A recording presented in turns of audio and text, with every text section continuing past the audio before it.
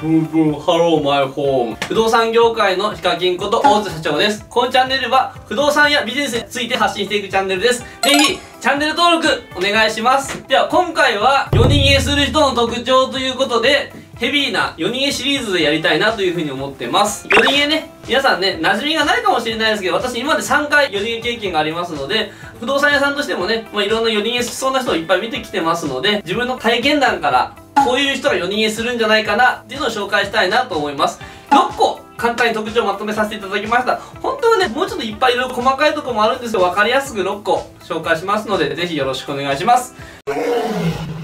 まず夜逃げする人の特徴は1つ目。これ確定ですね。入居やたら急いでる。もうね明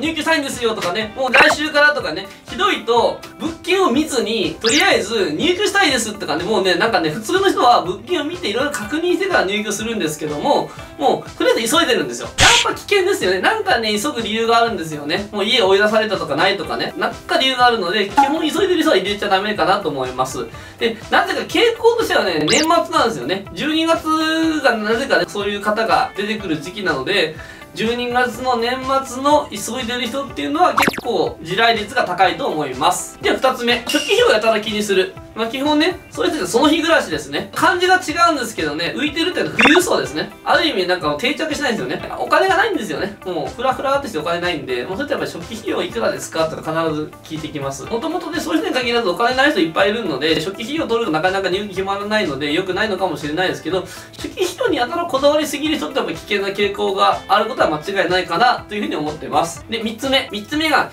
引っ越しの回数がやたら多いという特徴です。もう定住しないんですよね。広告民みたいな感じですよね。ゲルと一緒ですよ。僕の子だったらゲルですよ、ゲル。ゲルとしか思ってないですよ。だから次のゲルに行くみたいなね。そんな感覚で住んでる方って結構います。引っ越し回数が多いんで、住民票の移動履歴とか、そういうの見れば調べられますので、あと免許証とかですね、そういうの確認して、住所を頻繁に変えてないかとかね、そういう一つの対応になるかな、というふうに思います。で、4つ目。4つ目が、変な夢を持ってるんですよね。例えば、変な夢っていうのは、まず独立したいとか自営業したいってことなんですけども、おとなしく働いてられないのか、こういうお店やりたいと思ってるんですよとか結構無茶めなことを言ってるんですよね。これ言ったら怒られるかもしれないんで、ちょっとね、もしかしたら叩かれるかもしれない。番組には触れるんですけど、まあ、社長にプレゼンしてお金を投資とか融資してもらう某番組があるんですけども、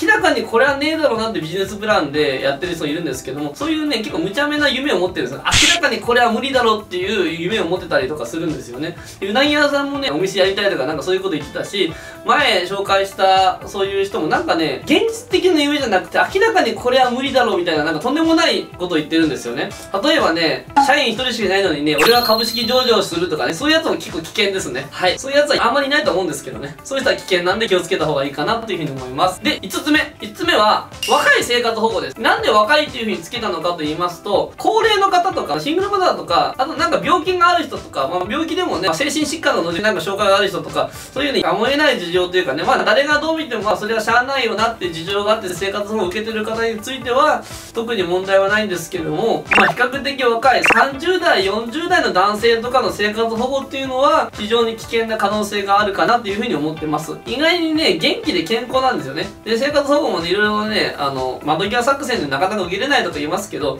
結構強く主張すると意外に受けれたりしちゃうんですよ。まあそういうこともあるので、意外にね、そういう不正受給に近いような受給してる人が結構多いです。やっぱそういう人が不正受給がバレて、まあ、生活保護でもずっと生活保護が入ってくればね、大家さん的にはいいのかもしれないんですけども、まあ不正受給がバレて、打ち切りとか結構あります。僕も生活保護打ち切られたことがね、2回ぐらいありますね。だから生活保護だから毎月国が入ってくれるからお金大丈夫かなとか思うと結構打ち切りがあったりします。で、打ち切られたら結構夜逃げするにそのまま繋がる可能性が結構高いんじゃないかなというふうに思うので、まあ、特にね、理由が不明確でわからないような生活保護の人は特に危険かなというふうに思います。あとね、孤独死の率も高いです。働いていないことが多いので、働いていないから、孤独死しても誰も気づかないんですよね。で、またその、40代、50代で結構不健康なことも多くて、60代とか70代になると周りのさん気にしたりとか、まあ、介護とかそういったサービスも使ってるので、皆さん気にかけるので、まあ、なかなか孤独死ととかにならないんですけども、まあ、40代、50代の生活そこの人が一番孤独死しやすいので、特に気をつけなきゃいけないんじゃないかなっていうふうには思ってます。では最後、6個目。6個目は、まあ、ペットですね。ペットたくさん飼ってる。これ夜逃げスタートの写真なんですけども、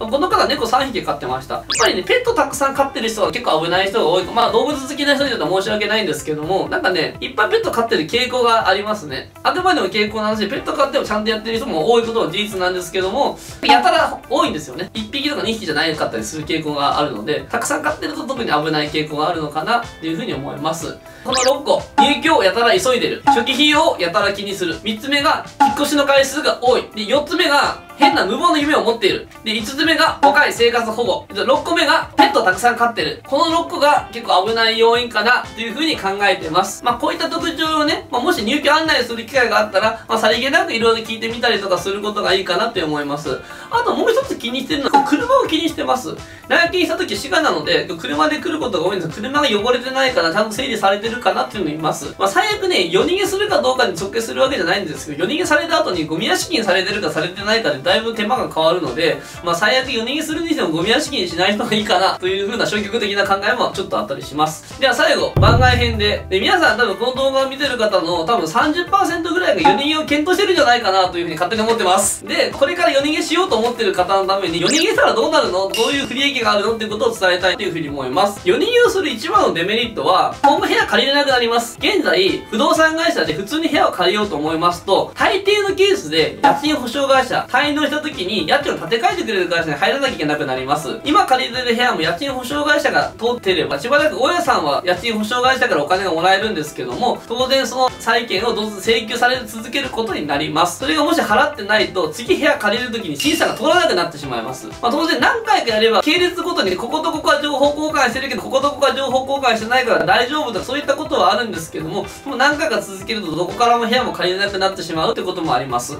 また当然裁判されたたりとかすることもありますので、支払い義務がずっと残ってしまう。まあそういった不利益もありますので、まあもし夜逃げするぐらいまで追い込まれた人は、まあ一回ね、大家さんであったりとか管理会社さんとかに相談して見てみたらいいんじゃないかなと思います。まあ具体的な再建計画とかがあれば、基本的に大家さんとかは相談に乗ってくれる可能性が高いのかなというふうに思います。で私もね、今そういう相談があった場合は、例えばその、で私のお客さんでもね、癌になってしまった入居者さんがいるんですけども、まあその障害年金であったり生活保護が受けれるように一緒に市役所行ってサポートしたりとか、まあそういったこともしてますので、一人で悩まずに、まずは払えないんやったら、そういう大家さん、管理会社さんに相談して、一緒に対策を考えていったらいいんじゃないかな、というふうに思ってます。以上で、ユニゲスリストの特徴を終わらせていただきます。ご清聴ありがとうございました。